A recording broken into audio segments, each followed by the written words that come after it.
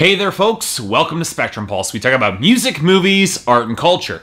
And today we're going to be talking about the self titled debut album from Alvvays. Okay, for those of you who have been watching my series for a good year or so now, or those who have gone through my back catalog, who, before I had a decent camera or any presence in front of said camera, you might remember that I didn't exactly have a lot of material to cover in the middle of the summer. There's a reason for that. Like early January, the midsummer tends to be a dead zone for album releases, under the assumption that the radio has already locked in their songs of the summer, and people will have picked up the albums they want to listen to wherever wherever they're going for the beach or the cottage or the backyard barbecue. And in a year where the pop charts have been fairly stagnant on that note as it is, and just in terms of turnover, or populated by singles from albums released last year, it leaves album critics like me in a bit of a tight spot. It's gotten to the point where the albums battling out for the top spot this week on the charts are from Jason Mraz and Weird Al Yankovic, neither of which are acts that you would ever expect to get a number one hit, no matter how much one of them might be deserved deserving of it. And since I already covered Weird Al, and you could not pay me to cover Jason Mraz, I figured I might hop back into my backlog of critically acclaimed records that I might have passed over earlier in this year. But the problem with that is that I already covered most of those records too,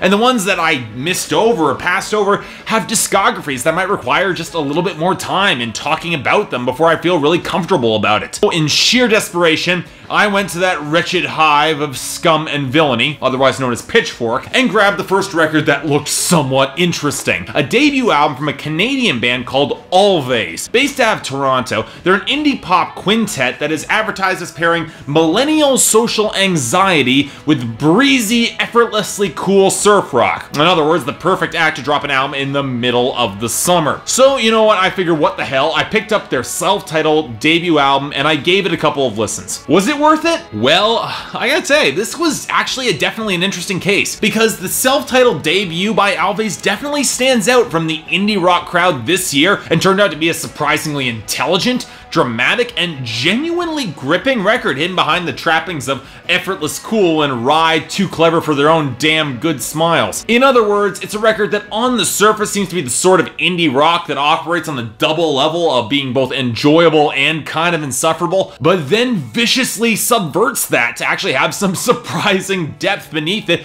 into a surprisingly great record. I'm not gonna say it's perfect, but there's enough real drama on display on this debut to make it very easy for me to recommend this album and really praise it. So, okay, Let's start with the instrumentation, which is a bit of an odd fusion, all things considered, between the mid to late 80s jangling indie pop rock of acts like REM or that recently reissued C86 compilation with the breezy surf rock sound of the early to mid 60s. Think of a 60s inspired pop act like the B-52s with all the polish and flair sanded off for a rougher, richer, earthier sound, but all the easy grooves of the melodic progressions actually preserved and carried over. The guitar tones, they're washed out, but but still maintaining a crackling, borderline lo-fi presence that doesn't so much add edge and texture, but to just complement those drums and the occasional drum machines on tracks like The Ones Who Love You. What I found most impressive about this record was the integration of the keyboard segments on tracks like Dives and Red Planet, which have this rich,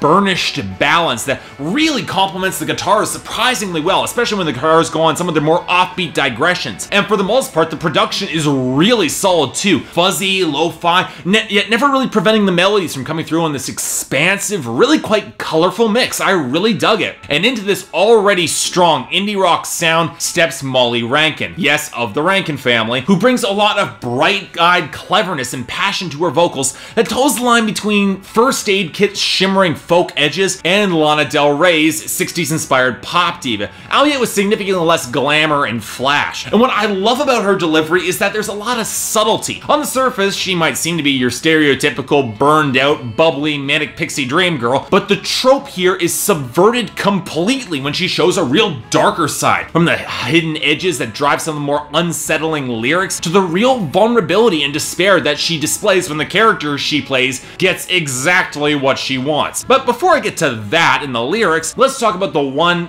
big gripe that I do have with this album, the vocal production. Simply put, as much as Rankin's voice draws a lot of attention throughout the mix, the dense instrumentation and echoing production on tracks like The Ones Who Love You and Dives can make her lyrics more than a little difficult to pull out and decipher, especially when nobody's posted the lyrics online, which really is a shame because the lyrics and themes are definitely the highlight of this record when I can pull them out. The tagline of millennial social anxiety meets breezy, effortlessly cool surf rock is completely apt here when it comes to lyrical subject matter, because it's rare that I've seen an album succeed so well in capturing the contradiction of a disaffected generation trying so earnestly to detach, and yet doesn't really have a clue what it means when it comes to real adulthood. Or let's put it another way, when Alvvays eventually ends up as a soundtrack for HBO's Girls, it would make perfect sense. And this is speaking of a member of that millennial generation in question. The opening track, Adult Diversion, sets the scene and themes right out of the gate. A girl hunting for her version of the one,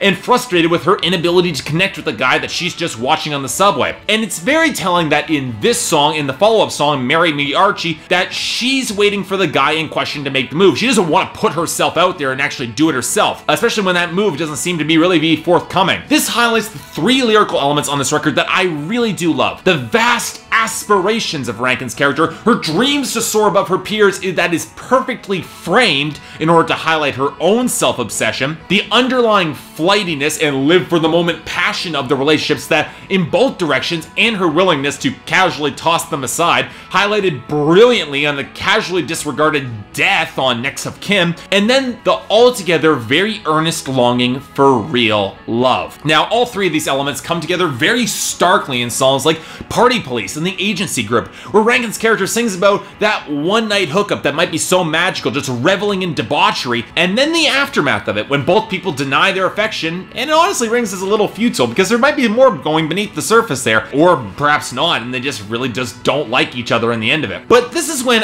Alvvays takes an unexpected twist. They actually show the consequences. Dives from the lyrics that I was able to parse out from the song seem to show the relationship progress into a slow stagnation punctuated by the very telling line, you never get it right on the first time. And suddenly, the narrator suddenly gets exactly what she wants as a marriage looms on a top of cake, and that self-obsession leaps to the forefront in both her and her spouse as he reveals himself to be something of a controlling dick. And then the album just ends, inspired by Chris Ware's Acme Novelty Library 19, as the band says, that hammers down on the themes damn near perfectly. The obsession with an ideal shaped by the narrator's own appetites and not the reality of what she got. And it's a reality that she's very much acutely aware of, that she effectively backed into through her old behavior in the past. And now she's stuck living in the consequences of an action in a marriage perhaps to the wrong person entirely, conforming to the societal norm that she originally gave the middle finger to on songs like Party Police and Ones Who Love You, trying to give her middle finger to that establishment that she ends up being a part of. And with that, the metaphor snaps into very sharp focus with a pointed message to our generation, or my generation at least, that ultimately an attitude of detachment and self-absorption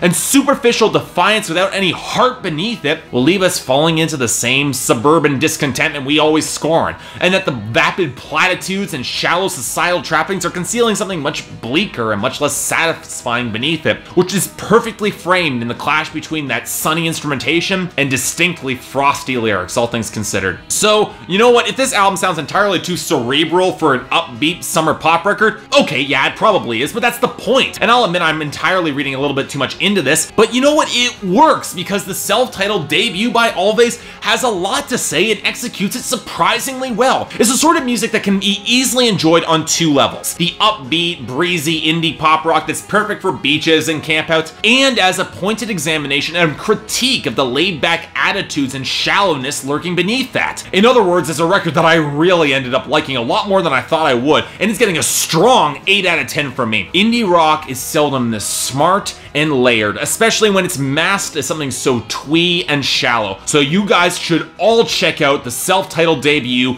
from all Alvvays. You will not regret it, I promise you that. So yeah, thanks a lot for watching. If you'd like to like and subscribe, I'd be more than grateful. Um, if there's any albums coming out or that came out in 2014 that I haven't covered yet, you want me to take a look at, I'd be more than happy to give them a listen. I'm getting a little bit desperate here. Other, if there's anything else I might be able to do to improve my presentation along the way, I'm also all ears. But until then, I'm Mark, you're watching Spectrum Pulse, and I'll see you next time.